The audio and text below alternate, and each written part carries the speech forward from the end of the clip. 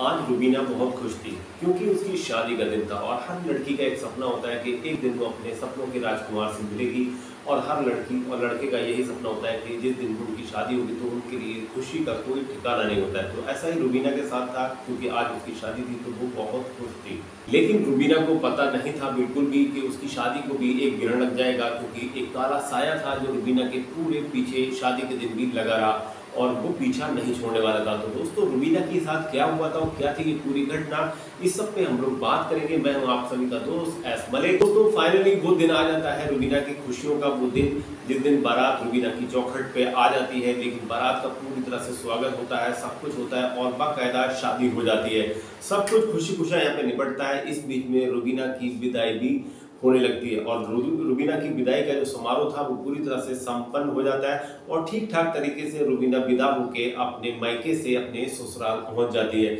और ससुराल में रुबीना का काफ़ी अच्छा स्वागत होता है। फाइनली वो टाइम भी आ जाता है जब हस्बैंड और वाइफ एक प्राइवेट पल के लिए वेट करते हैं और वो टाइम भी यहाँ पे आ जाता है रुबीना की लाइफ में। रुबीना काफ़ी एक्साइटेड थी कि उसकी शादी हो चुकी है उसका इतना प्यारा हस्बैंड है उसको ससुराल भी काफ़ी अच्छा मिला है। सब लोग उसे बहुत केयर कर रहे हैं और इस वजह से वो काफ़ी खुश थी रुबीना। अब वो दिन आ, घड़ी आती है जब रुबीना अपने हस्बैंड के साथ एक प्राइवेट रूम में दोनों लोग अकेले हो जाते हैं। तो दोस्तों जो फ़र्स्ट नाइट का दिन आता है तो हर बीबी की अपने हस्बैंड से एक एक्सपेक्टेशन होती है। वो चाहती है कि उसका हस्बैंड प्राइवेट पल्स उसके साथ बिताए।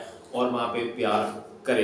तो लेकिन रुबीना का हस्बैंड इस बात को लेकर थोड़ी आनाकानी करता है और वो सोने के लिए बोलता है। बोलता है कि मैं बहुत ज़्यादा थक चुका हूँ और आज मेरा मूड नहीं है। इस वजह से दोनों सो जाते हैं और रुबीना के माइंड में भी ये बात आता है, ठीक है, आज शादी का दिन था, हो सकता है ये बहुत थक गए होंगे।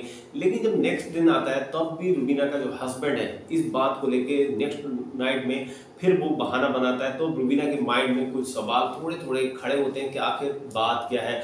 और उसको ये बात जानने की बहुत ज़्यादा उत्सुकता हो जाती है कि आखिर बात क्या है? मेरा हस्बैंड मुझसे बात क्यों नहीं कर रहा है? तो सेकंड नाइट भी जब निकल जाती है, जब थर्ड नाइट आती है, तब रुबीना अपने हस्बैंड का हाथ पकड़ के उनसे पूछती है कि बताओ आखिर प्रॉब्लम क्या है? मैं तुम्हें पसंद नहीं हूँ या फिर कोई और आपकी लाइफ में है जिससे आप प्यार करते हैं? तब रुबीना का हस्बैंड बोलता है कि मेरा अभी तबीयत ठीक नहीं है, कुछ ऐसे बहाने बनाने लग जाता है। लेकिन रुबीना बार बार ज़ोर देने पर वो बोलता है, ठीक है, मैं बताता हूँ तुम्हें, मैं शादी नहीं करना चाहता था, मैंने पूरी तरह से अपना जेंडर चेंज करा लिया है, मैं मेकअप करना चाहता हूँ, मैं लड़कियों वाले कपड़े पहनना चाहता हूँ। और ये सब बातें जब उसने बोली तो रुबीना को यहाँ पर लगता है कि उसका हस्बैंड जो है, उससे मज़ाक कर रहा है। लेकिन रुबीना